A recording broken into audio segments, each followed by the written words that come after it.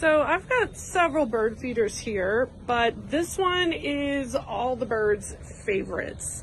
It is wet outside right now, but this little hood here is actually doing a good job helping to keep the bird feed from getting all wet. It also helps to keep the squirrels off of here.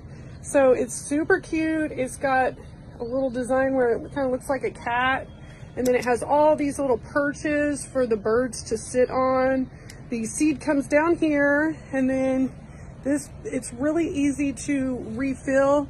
You just lift this part up and you can refill it. So the birds love it. It's super cute. It's very well made and it has just a great design.